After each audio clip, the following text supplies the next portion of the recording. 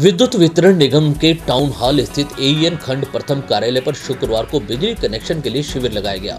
शिविर में बिजली कनेक्शन के लिए नए आवेदन लिए गए और वहीं पेंडिंग कनेक्शनों को निपटाया गया। निगम के शहर खंड एक्सीएन डीपी सिंह ने बताया कि निगम में नई बिजली कनेक्शनों को गति प्रदान करने के लिए शिविर का आयोजन किया गया, जिसमें 14 आवेदनकर्ताओं को डिमांड नोटिस भी जारी किए गए। वही 15 कनेक्शनों को लगाने के लिए कर्मचारियों को उपभोक्ताओं के घर पर भेजा गया। साथ ही डिमांड नोटिस जारी करने वाले उपभोक्ताओं को सूचित भी किया गया है कि शीघ्र ही डिमांड नोटिस जमा कराएँ, जिससे शीघ्र ही उनके कनेक्शन किए जा सके। आज का ये शिविर निगम द्वारा ये नए विद्युत कनेक्शन को गति प्रदान करने के लिए कि जो पेंडेंसी है उसका निस्तारण किया जाए और नए कनेक्शन जो शिविर में आवेदन आए, उनको कनेक्शन दिए जाए।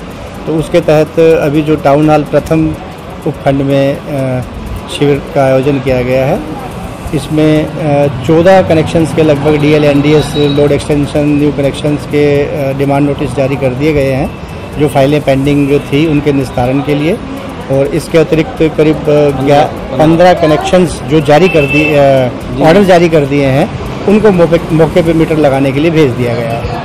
तो ऑलमोस्ट वो सारे कनेक्शन जारी हो जाएँगे और इधर से डिमांड नोटिस जो जारी किए गए हैं उपभोक्ताओं को सूचना कर दी गई है कि भाई वो अपना डिमांड नोटिस आगे जमा करा दें ताकि कनेक्शन दिए जा सकें।